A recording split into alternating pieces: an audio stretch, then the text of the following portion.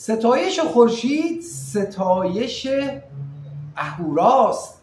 ستایش آن فروهر بلند پایه و دشمن اهریمن و دیو سیاهی و پلیدی است.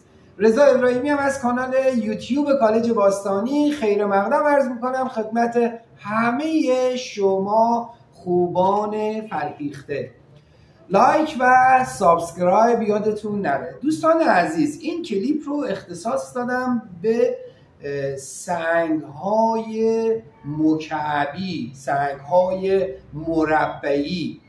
معمولا ما در دشت و کوه و بیابون تک سنگ هایی رو می‌بینیم که به صورت مکعب مستطیل هستن یا به صورت مربع و وزن بالایی دارن غیر قابل حمل هستن و برخی از اونها زیرسازی شده بعضی از اونها دورجین هست و بعضی ها اطرافشون تختگاهی هست. دوستان گرامی از کنار این سنگ ها به راحتی عبور نکنید.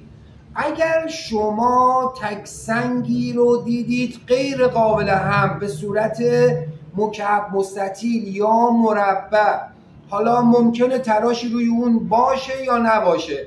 اگر تا فاصله 500 600 متری این سنگ شما قلعه ای رو داشتید مطمئن باشید زیر سنگ خبرایی هست.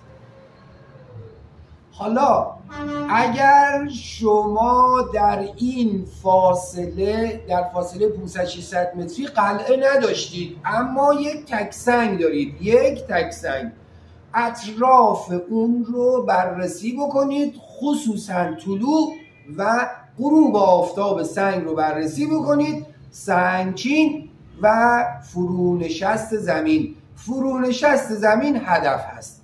اما ما سنگ هایی رو داریم دوستان گرامی که به صورت مکعبی هستن. اما اگر دقت بکنید و از یه قسمت بالاتر به اون منطقه نگاه بکنید می‌بینید در فواصل معینی مثلا هر پنجاه متر یا صد متر یا دیویست متر یک سنگ رو گذاشتن که اون میشه حریم و می‌تونه اون سنگ بیانگر حریم اون منطقه باشه یا به نوعی مرز یا حریم یک قلمرو با قلمرو بعدی.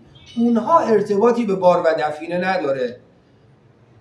پس به دنبال سنگ هایی باشید که مکعب, مکعب مستطیل هستند یا مربع هستند به صورت تک هستند و در نزدیکی قلعه ها هستند. اون سنگ ها بسیار بسیار بسیار با اهمیت هستند و زیر اون سنگ ها دوستان گرامی خبرایی هست.